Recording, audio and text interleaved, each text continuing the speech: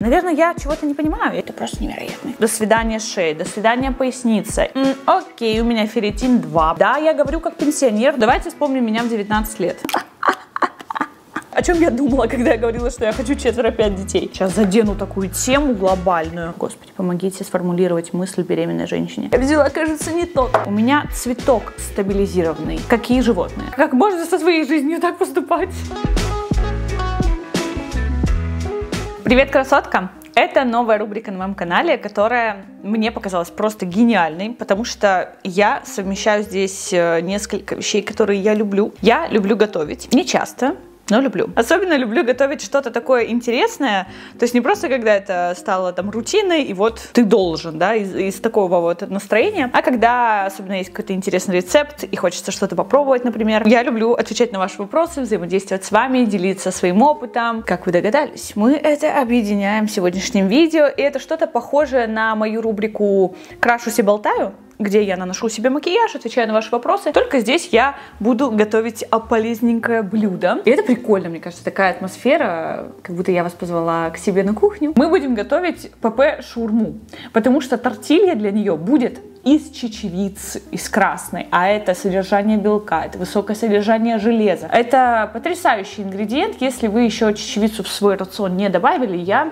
настоятельно рекомендую. И не только потому, что она супер полезна, и там и клетчатка, и все-все-все, это реально вкусно, просто и быстро, потому что красная чечевица, например, варится минут 15. И из нее можно делать всякие разные супчики, соусы. Такой суперфуд, я бы вам сказала, и очень бюджетный. Почему у меня сейчас она в каком-то бульоне находится, потому что для нашего рецепта ее надо было замочить, чтобы она немножко так разбухла, чтобы она приобрела нужную консистенцию и не была такой твердой, потому что мы будем ее взбивать. Точный рецепт вы все равно увидите в описании под этим видео для вашего удобства. Внутрь, почему она ПП, все-таки мы добавим с вами кучу овощей, кучу зелени. Мне, если честно, овощи есть несложно каждый день и по многу. Я их обожаю. Все овощи обожаю. Но знаю, что так не у всех. И есть понимание, что да, нужна клетчатка, да, овощи полезно, да, там 2-3 порции овощей, фруктов, ягод надо съедать в день. Но мало кто это делает, и можно вот таким образом довольно-таки вкусным, необычным добавить в свой рацион кучу овощей. В качестве соуса я решила сделать греческий йогурт с укропчиком. В качестве начинки у нас просто бомба овощная.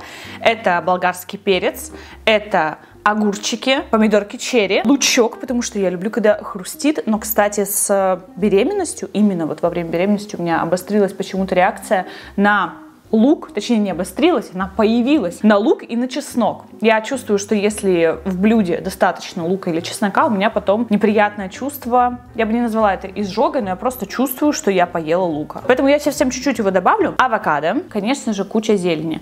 У меня это салат листовой, ну это может быть вообще любая зелень на ваш вкус. Я руколу обожаю. И основа тортильи будет наша чечевица, представляете, всего лишь с водичкой, с солью, да, специями на сковородке. То есть мы с вами тортилью будем жарить как блинчики. И поэтому я решила сначала мы с вами лучше вместе здесь все нарежем, приготовим все ингредиенты, чтобы я не бегала туда-сюда. И когда уже вся начинка будет готова, мы перейдем с вами в зону плиты, и там я начну уже жарить, показывать, как эти блинчики формируются. Я попросила вас в Телеграме задавать мне вопросики на разные темы. Правило номер один на кухне. Волосы надо убрать.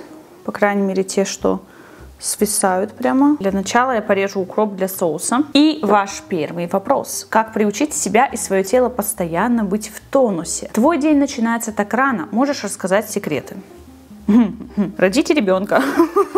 В вашей жизни появится намного больше дел, задач, ради которых вам нужно будет вставать. Да нет, я шучу, конечно. Наверное, не надо рассматривать этот вопрос так узко, да, типа вот совет номер один. Заведите будильник, вы встанете раньше. Здесь э, такой подход. Если глобальный, то, наверное, надо вообще понять, зачем вам вставать, зачем вам начинать этот день. Просто нам так хочется какой-то легкой таблетки обычно, типа вот, поделитесь каким-то секретом. Наверное, я чего-то не понимаю, я чего-то не знаю, но нет. В общем и целом, наверное, сама жизнь показывает, что люди, которые занимаются любимым делом, которые кайфуют от того, как они проводят каждый свой день, потому что они сами же его наполнили энергодающими делами. Понятно, что не все мои дела очень энергодающие, я прям такая вся всегда в кайфе, в абсолютном от любого действия. Смотрите, какая прелесть и какие запахи, это просто невероятно. Например, даже, кстати, заниматься йогой. Опять же, тут, э, знаете, вопрос с двух сторон. С одной стороны, мне это, это дает энергию невероятную, да, но опять же, кто-то ставит вопрос так, как заставить себя пойти на йогу, а как заставить себя там заниматься спортом и так далее. И где-то я согласна, это определенное усилие над собой, чтобы наслаждаться конечным результатом по итогу. Вот как-то так. Получается, ты уже знаешь, что тебе это даст. У тебя есть твои энергодающие дела. Но иногда, чтобы даже к ним приступить, тебе реально нужен пинок, как бы это странно не звучало. Это наш с вами соус. Это, конечно, если так глобально мыслить, глобально смотреть, когда ты понимаешь, что ты приносишь пользу людям. Ты понимаешь, зачем ты просыпаешься. У тебя есть какая-то своя миссия на эту жизнь. И она не обязательно должна быть какая-то супер глобальная, там, стать самым известным артистом. Нет, очень часто вот такие глобальные штуки, особенно когда у тебя до них расстояние очень долгое, большое временное расстояние, они наоборот потом демотивирует тебя, и ты такой, блин, нифига, как далека моя цель от того, где я сейчас. Я, кстати, черики нарезаю. А если их колечками нарезать? Я просто не люблю помидоры, эти огромные, чаще всего, пока еще не сезон, они могут быть не очень вкусными. В общем, если у вас вдруг не черри, скорее всего, большие помидоры будет удобнее нарезать кольцами. У меня от того, что это черри, они маленькие, но зато они сладкие, вкусные. А если посмотреть на этот вопрос наоборот, не так глобально, а как-то вот э, прям советиками, очень можно многое изменить в плане энергии просто вашим ритмом жизни, вашим образом жизни банально, но когда вы просыпаетесь и когда вы засыпаете, отследите этот момент. Если вопрос о том, что, Саш, ты рано просыпаешься, так я ложусь спать в 10 часов. В 10.30 я вареная картошка, со мной можно не общаться, не разговаривать, не спрашивать ни о чем. И самое главное, мне так комфортно в этом ритме жизни.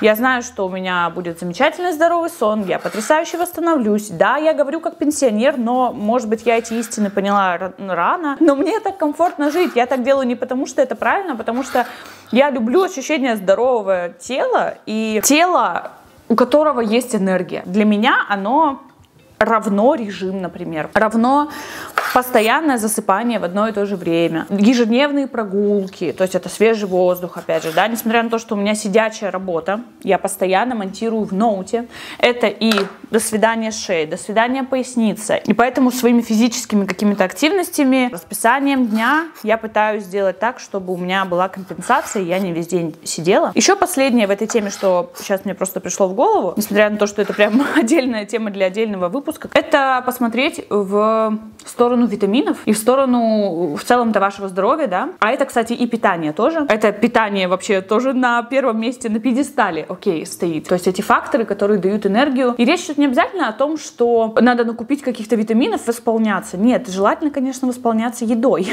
восполняться, вот, вот, вот это наши витамины с вами, то, что мы потребляем каждый день. И сдать анализы, например, на железо, на группу В витамины. Ну и, конечно, не просто их сдать, а желательно интерпретировать со специалистом, чтобы это не просто у вас в стол такое ушло.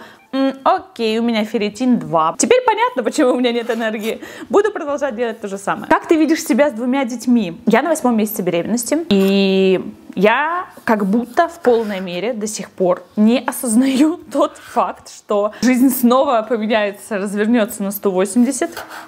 180 это как бы в обратное направление. Никогда не понимала, как правильно сказать. Если скажешь на 360, то ты там же окажешься. Если на 180, то ты развернешься назад. На 90 градусов ты просто пойдешь в другую сторону. Наверное, я говорила это уже не раз. Я безумно счастлива, что у нас разница в возрасте будет именно такая. Я имею в виду, что не меньше. Точнее так, я была готова, чтобы была разница в возрасте уже три года. Вы помните, да, наши первые попытки забеременеть, они как раз были, когда Еве было два с половиной, значит, к моменту рождения малышки Еве было бы три. Это для меня отличный, потрясающий возраст, когда я уже могла видеть Еву как взрослого человека в миниатюре. Да, там был кризис трех лет. Да, вспышками мне казалось, что какой второй ребенок? О чем я думала, когда я говорила, что я хочу четверо-пять детей? Но это, это временно, это моментами, и это когда очень сложно, и, например, не было какого-то восстановления, восполнения энергии. Но вообще, конечно, нет, я осознаю, у нас там уже коляска куплена. для ребенка. Мы в деревню поедем, кстати, на этих выходных и будем все вещи Евины которые ей малы, которые мы, конечно же, оставляли, потому что некоторые, знаете, там поношены, я не знаю, два дня, и она выросла. Мы, конечно же, все это оставили для второго ребеночка. И мы все это будем разбирать. Мне кажется, вот когда будет сейчас вот этот вот момент уже гнездования, да, в полной мере, блин, когда он уже будет, потому что я так-то уже на восьмом месяце. Я особенно пойму, да, именно в этот момент. Я этого ждала, я этого хотела, поэтому, наверное, для меня нет такого, что как же я буду, как же, ну, как бы, как бы буду так, как планировала, как хотела. Мне кажется, будет классно классно. Схожу я за тарелочкой для огурчиков. Благодаря вот этой хорошей разнице в возрасте у меня есть уже приятные вот эти вот ностальгичные чувства о том, а как, как это было вообще, когда ты вот подгузники эти ГВ. Потому что, ну, простите, ГВ это тоже такой долгий период, что если бы я не отдохнула от него, ну, фиг знает, с каким бы энтузиазмом я бы подходила ко второму ребенку. Все равно вот эта твоя связь с малышом,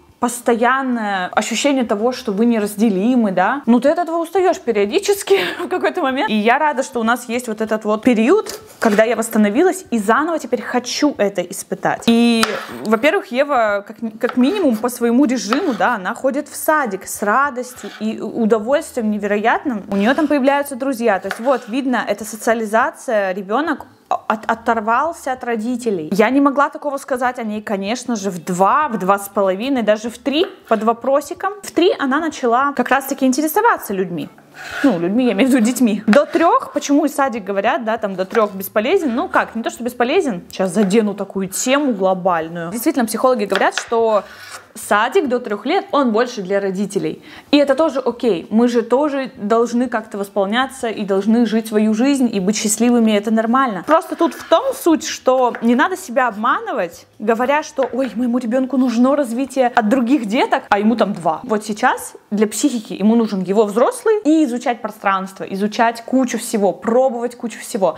Много двигаться, много гулять, по возможности руками что-то там делать, моторику развивать. Если посмотреть в два года, как детки взаимодействуют, они играют рядом, но не друг с другом. Наверное, бывают исключения или что-то еще. Я говорю про то, что я прочитала и то, как я видела у Евы это. Ее действительно не волновали другие дети до трех лет. А сейчас это не то, что не волновали. У нее тут уже и друзья, и там списки друзей, которые на день рождения надо позвать, а вот этих не надо звать. Свои какие-то микрокризисы тоже она проходит. Кто-то с ней дружит, кто-то с ней не дружит. И у нее уже не такая большая, не такая сильная зависимость от родителей. Ну и как раз рождается тот, у кого будет эта сильная зависимость и кому, кому будет это нужно. Интересный вопрос. Почему ты ведешь блог? Какая у тебя мотивация? Вы понимаете, что в этом году будет 9 лет, как я веду блог. на 10 лет 100 баллов нужно сделать какой-то праздник. Я вот недавно работала с нутрициологом, и так интересно мы с ней работаем, мы с ней работаем довольно комплексно. Однажды, как задание, у меня было писать, чем я довольна за сегодня, точнее, в чем я довольна за собой. Господи, помогите сформулировать мысль беременной женщине. Чем я сегодня довольна? Нет, не так. За что я довольна собой сегодня? Наверное, вот так. И каждый день у меня этот список э, э, звучал одинаково. Суть в том, что я делаю каждый день примерно одно и то же. И меня даже Катя спросила, тебе нормально в этом? То есть тебе ок, что ты делаешь э, одни и те же действия? У меня там реально, я помонтировала, я хорошо сняла это. Ну, то есть у меня в целом действия за все эти 9 лет, они повторяются. То есть ты создаешь контент, ты снимаешь разное, конечно же. Если бы я снимала что-то одно, я бы уже умерла со скуки. Для меня в этом и есть ощущение постоянного развития и разного контента, что я могу сама, во-первых, выбирать все это. То есть я не на телевидении где-то работаю, где мне говорят тему, я такая, окей, поехала смена. Нет, я отношусь к этому вообще как к абсолютно творческому, удивительному процессу, который интересен мне, этот огурец на ноже. И поэтому мне всегда в нем интересно. Я никогда не снимаю то, что заказал какой-то заказчик, или там монтирую какой-то контент, который мне не интересен. И я даже пришла к тому, что можно делегировать то, что тебе реально не интересно. Например, я честно вам призналась, что мне не интересно монтировать подкасты длинные. Ну, вот у меня рубрика новая появилась, между нами говоря. Но мне безумно интересно их снимать и смотреть. Но три часа, три камеры, звук везде, вставки, плашки. Мне это не интересно. И я делегировала монтаж. Вообще потрясающе себя чувствую. И контент выходит. И я монтирую то, что мне интересно. Потому что, например, влоги я в жизни никому никогда не отдам. Два месяца монтировала влог с Бали. Ну и что? Я довольна каждой секундочкой. Что меня мотивирует, да? В чем твоя мотивация? Вопрос там. Как я обожаю перепрыгивать с темы на тему, я не могу. Перец Рамиро. Это потрясающий вкусный перец. А намного вкуснее, чем просто болгарский, который такой, вот знаете, ну как большой кончальничек. Он намного сочнее, слаще, его чистить проще. Потому что вот эти все семечки остаются вот здесь. И моя мотивация здесь в том, что я и реализуюсь, потому что, конечно же, если бы я это все снимала в стол, так скажем, да, то есть ни для кого, ну, я бы так долго не продержалась. Мне очень важна обратная связь. Мне нравится, что у нас с вами такое комьюнити. Вообще, если представить, сколько вас по всему миру, это такая ценность. Конкретно каждый день я об этом не думаю, да, что, о, это такая ценность. Но если так задуматься, это вау, просто вау. Плюс то, что я могу быть полезна обществу. То есть я раскрываю какие-то темы, в которых я либо разобралась, либо у меня был какой-то опыт, я могу им поделиться. Ты в 19 и сейчас насколько разные люди? Фундаментально разные, скажу. Так, ну, хотя 19. Давайте вспомним меня в 19 лет. Это мой второй курс института. Мы начинали уже отношения с Денисом. Мне кажется, я была больше максималистом. Типа или все, или ничего, знаете, такой подход. Когда очень открыт ко всему новому. И все новое для тебя это как новая истина. Ну, то есть меньше критического мышления, я бы сказала, его вообще не было. Типа любая какая-то мотивирующая фраза или цитата, или книга могли так на меня сильно повлиять. И знаете, это и хорошо, и плохо. С одной стороны, я там прочитала книгу «Магия утра», и я ее впитала вот так, знаете, как есть мемчик, когда вот так парень себе впитывает это в голову. Такое ощущение, что я реально вот этот файл, там, книгу просто разархивировала у себя и стала этой книгой. Она на меня очень сильно повлияла. С одной стороны, это хорошо, но с другой стороны, уязвимо, да, довольно. То есть все, что ты, получается, там не прочитаешь, ты такой, окей, это моя новая жизнь, это моя новая реальность, это мои новые правила. Сейчас я уже ни одну книгу так не восприму. И ни одно высказывание кого-то, даже близкого человека, даже вдохновляющего меня человека, я не буду принимать это за истинную монету. Я такая скажу, окей, это твой взгляд, это один взгляд, а есть еще этот ракурс, этот ракурс, что все не черно-белое. Не говоря уже о том, что 19 лет, это значит, что у меня впереди все развитие блога, это значит, что вот-вот будет там первый миллион на канале, и вот это ощущение того, что я и публика, я и блог это единое целое, а потом сепарация меня от этого блога, ну то есть интересный период, но я бы ничего вообще не хотела менять или говорить себе, эх, Сашенька, сделай по-другому. Нет, вообще, авокадик у нас порезан. И на самом деле мы с вами можем наконец-то замешивать нашу тортилью, точнее тесто для тортильи. Уже Дениска мне пишет, через сколько будет готово, можно приходить покушать. Чечевица разбухла очень даже хорошо. Нам сейчас ее нужно промыть, то есть вот это мутное состояние, чтобы его не было. Вот, собственно, наша чечевичка. Так она выглядит. Я немножко не до конца слила воду.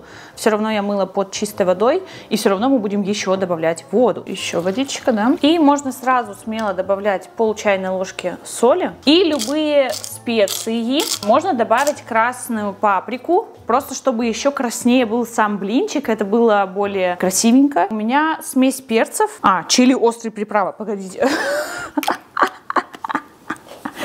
Я взяла, кажется, не тот. Я хотела взять в основе этот. Ну ладно.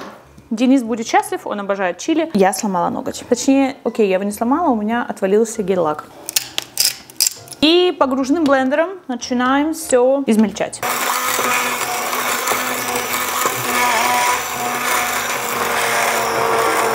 Пока все это происходит, можно уже поставить разогревать сковородку. Я использую масло авокадо. У него самая высокая температура дымления среди масел. Ну, конечно, масло авокадо иногда жалко использовать, потому что и салат можно им заправить, а не жарить на нем. Но если еще вспоминать, э, на каком масле можно жарить без вреда для здоровья, это масло кокосовое. Просто не всем нравится вот этот сладковатый привкус э, в еде, тем более здесь у нас сейчас будет э, довольно-таки соленая, чечевичная вот эта шурма. Масло кхи, но мне тоже его привкус не нравится. А авокадо очень нейтральное. Зацените консистенцию, пожалуйста. Вот что мы имеем. Такое однородное довольно-таки тесто. Перед самим наливанием на сковородку прям хорошо перемешайте, чтобы не осела густая часть и не осталась у вас только водичка, да, вот в этой взвесе. И наливаем нашу лепешечку. Прям можно смело добавлять, если за один раз не, не, не долили. И ждем, когда хорошенечко она прихватится прямо. В качестве специи еще хорошо с чечевицей всегда куркума. Куркума, правильно и зира. Но так как я первый раз пробую, я решила просто попробовать. Посмотрим. Может быть, э, попробовав ее в готовом формате уже с овощами, так хочется уже кушать. Может быть, я пойму, что саму лепешечку лучше какими-то специями обогатить. Когда согласилась выйти замуж за Дениса, не было ли чувства, а вдруг мне нужен другой человек? Нет не было такого чувства. Ну, если бы оно было, я бы не сказала да. Как, как, как, как можно со своей жизнью так поступать? Сразу подготовлю тарелку для готовых лепешечек.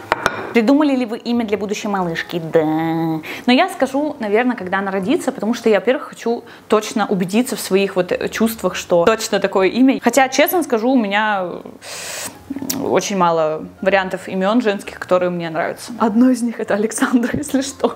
Это не потому, что меня так зовут, мне правда оно очень нравится.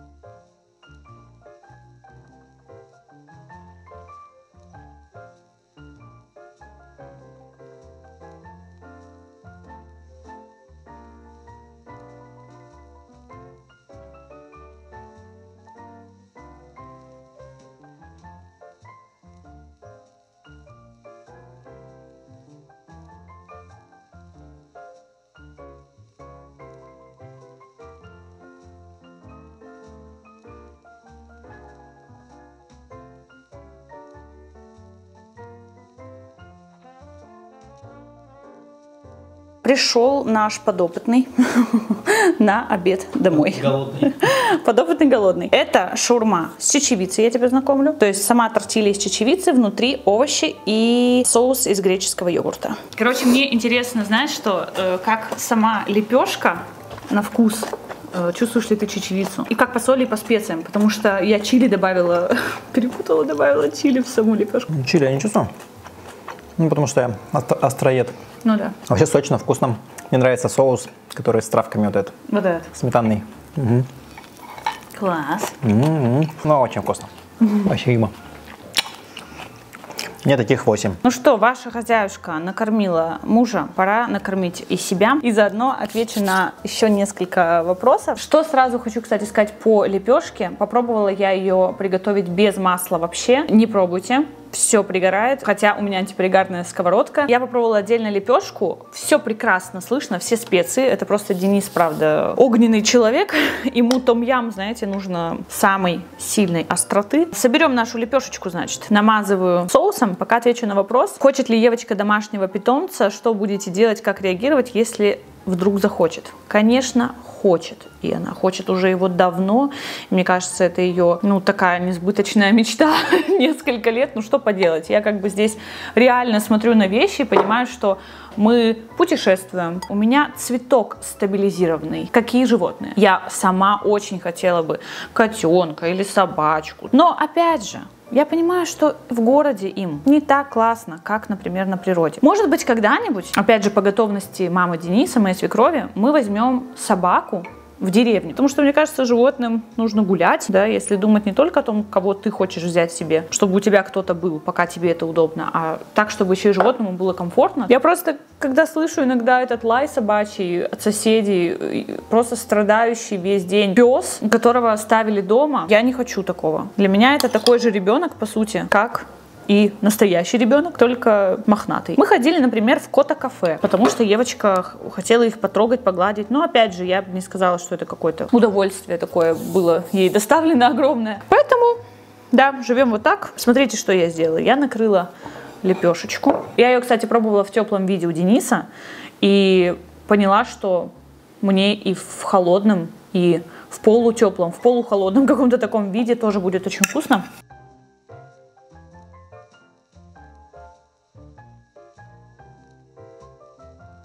Итак, пробуем. Момент X.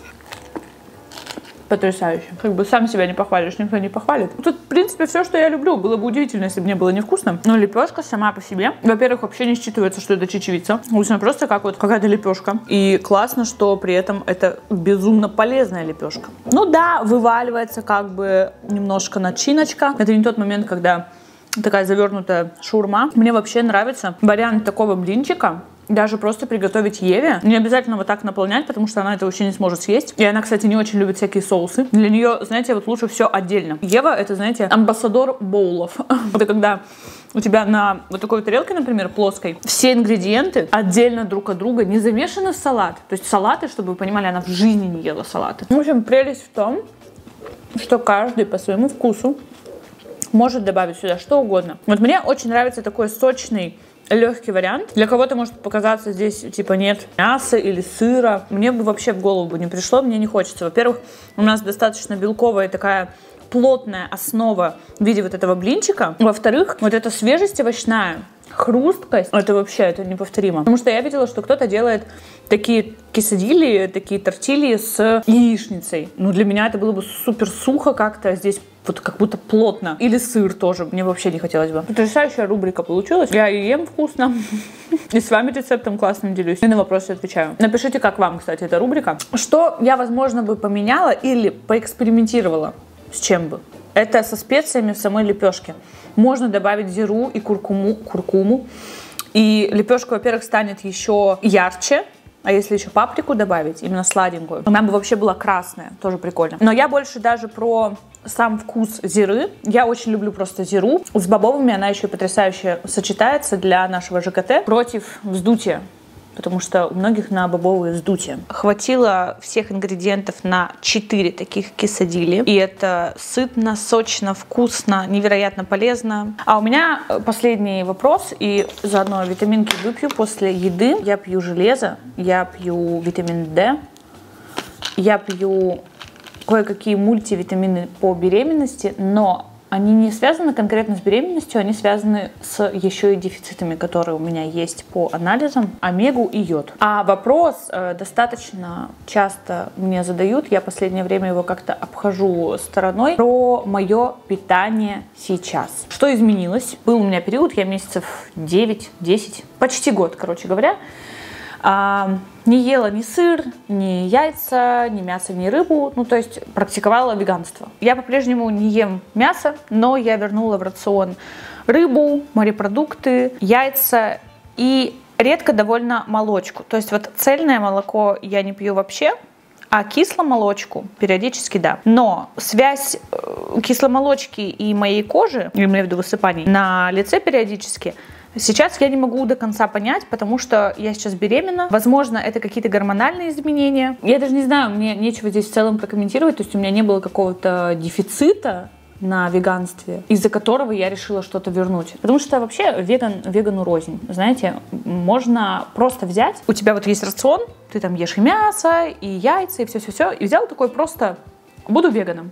Убрал все продукты животного происхождения и оставил то, что оставалось. А это где-то там салатики, где-то фрукты, где-то какие-то овощи. И это очень недолгосрочная история, потому что здесь ты просто убрал хоть какое-то поступление там, нутриентов, э, белка э, в свой рацион и не заменил их ничем. У меня была история все-таки более адекватная, потому что убрав все продукты животного происхождения, я все-таки их заменила на альтернативы растительного происхождения и более того, во многом даже более полезные, скажем честно. Познакомилась с новыми продуктами, познакомилась с новыми рецептами. Просто, во-первых, я стала меньше готовить дома, а когда ты меньше готовишь дома, ты автоматически скатываешься в какие-то истории в кафе, да, ну то есть я имею в виду, что заказываешь блюдо в кафе, а там они не всегда такие, как ты сам себе приготовишь, ты не проследишь за этими составами, и не везде, даже в Екатеринбурге, хотя у нас много классных заведений, правда, но не в каждом заведении, да, не будешь ты в одном и том же каждый день, например, есть, не в каждом заведении ты полноценное блюдо себе выберешь. Сейчас пока так. Вообще я ни на что не подсаживаюсь как бы до конца и ни о чем не говорю, что вот так будет теперь всегда. Не знаю, время идет, ты как-то анализируешь свое и состояние, и желание как-то действовать прямо сейчас, у тебя меняются какие-то ориентиры, ты узнаешь какую-то новую информацию, и это нормально. Ну а я оставляю здесь свои соцсети. Благодарю за просмотр и увидимся с вами совсем скоро.